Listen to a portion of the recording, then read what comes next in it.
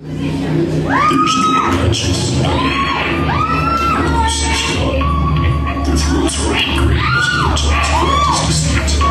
Their mouths are full